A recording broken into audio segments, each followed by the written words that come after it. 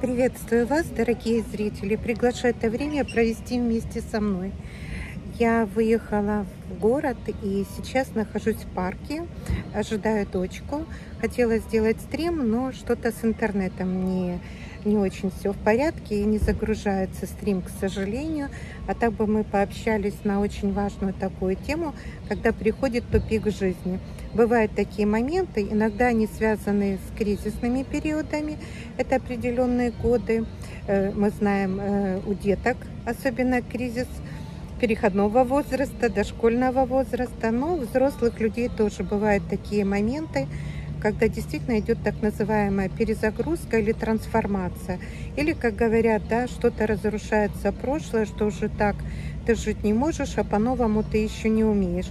Поэтому, вы знаете, в последние дни я тоже анализирую э, свое состояние, тоже понимаю, что приходят э, изменения и в характере, и в поведении, в восприятии, и, в общем-то, есть ли та надежда, есть ли та вера, которая была, в общем-то, еще совсем недавно, несколько лет, десятилетий назад, когда ты был молодой, и казалось, вся жизнь идет ну, будет впереди.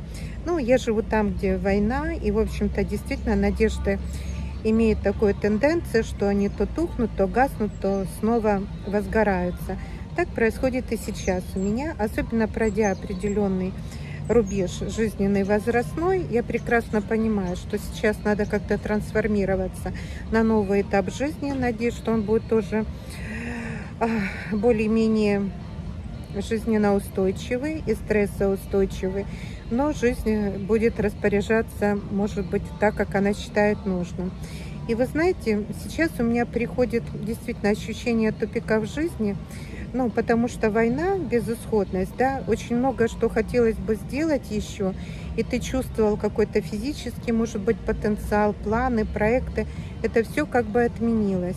А, Еще приходит осознание того, что ну, мы многодетные родители, что уже дети одни достаточно взрослые. И мы совсем недавно были такого же возраста. И я вот вспоминаю этот возраст, какие мы были совсем недавно. А теперь дети такого же возраста. Это тоже меня немножечко шокирует, что вроде-вроде только мы такие с мужем были, а теперь уже дети которым по 40 лет, ну, примерно, плюс-минус. Вот, э, приходит ощущение тупика, где я живу, признаюсь вам честно.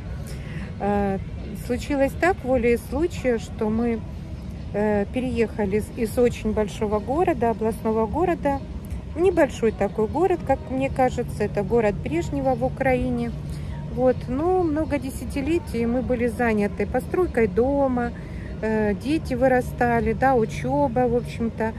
А сейчас уже все проекты здесь сделаны, и я понимаю, что я, находясь в этом городе, не могу не только не, ре, не реализовать какие-то свои возможности, проекты, хотя какие у меня уже могут быть проекты в моем возрасте, я просто-запросто не могу даже куда-то пойти. Да, у нас есть театр, в принципе, куда сейчас ходить? Сейчас одни сирены, бомбоубежища.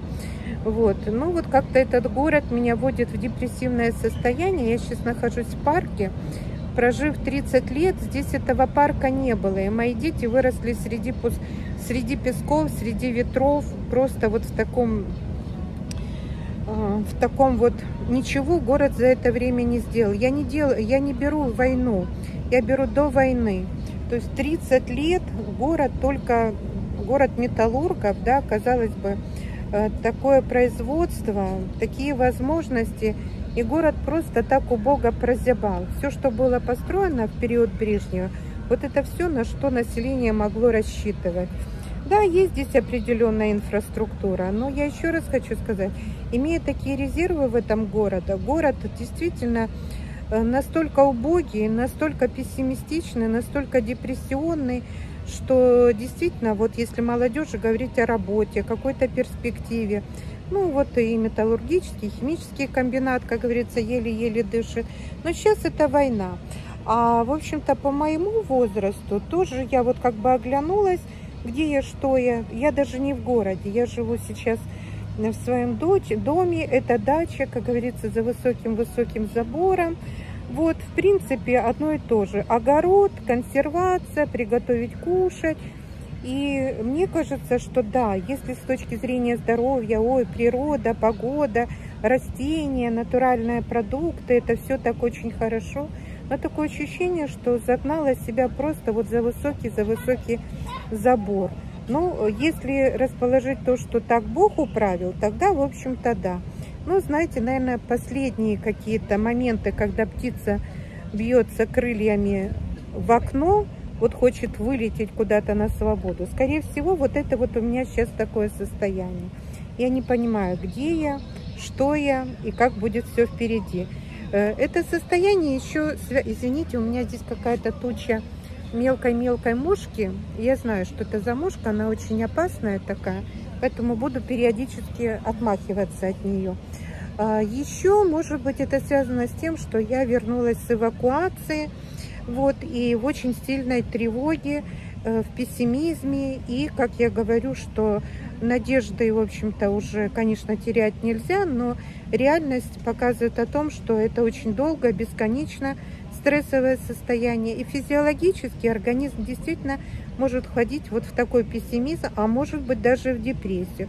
Это тоже могут быть такие первые сигналы о том, что нет удовлетворенности, нет э, перспективы. Хотя какая для меня уже перспектива, да? А посиди, а полежи на седьмом десятке.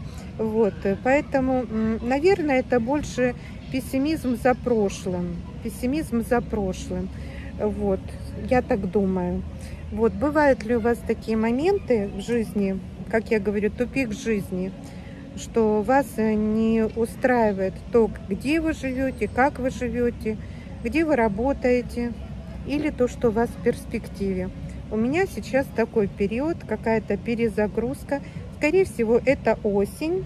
Осень тоже имеет такую тенденцию пессимизма. Может быть, тревога о том, как мы переживем эту зиму. Военные действия у нас очень близко, и это тоже дает какой-то отпечаток в плане того, что все то, что нажито непосильным трудом, это все просто может накрыться в один день одним снарядом. Это тоже может вводить в такое состояние. Э, слава Богу, в отношениях все как бы хорошо, благополучно с мужем и с детьми. Это дает какую-то опору, какую-то поддержку. Вот, э, практически, наверное, сейчас идет как новый поиск себя. Новый поиск себя, что представляет женщина в таком возрасте, что она может, на что она может рассчитывать. Вот. Ну и, конечно, здоровье. Здоровье, здоровье, здоровье, которое, в общем-то, у многих оставляет желать лучшего. Поэтому, пожалуйста, напишите мне, бывают ли у вас такие моменты и помогает, что вам помогает выйти с такого состояния. Я сейчас ожидаю доченьку, здесь рядом парк, мы здесь гуляем с внучками, приезжали, гуляли с внучками. Ну а вот сейчас я приехала и сижу одна, сижу одна в этом парке с каким-то таким настроением. Интернета нет, выйти к вам в стрим нет возможности. И это тоже меня немножко расстраивает. Поэтому напишите мне, какие у вас есть способы поддержать себя в такие минуты. Желаю всем крепкого здоровья, чтобы у вас все было здорово.